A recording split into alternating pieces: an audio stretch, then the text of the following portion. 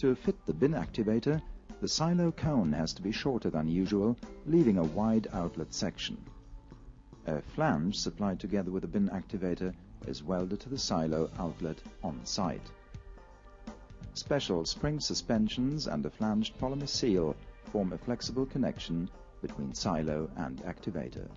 One or two electric vibrators fitted to the unit generate vibration of the bin activator every time the feeding device beneath the silo is started for material extraction.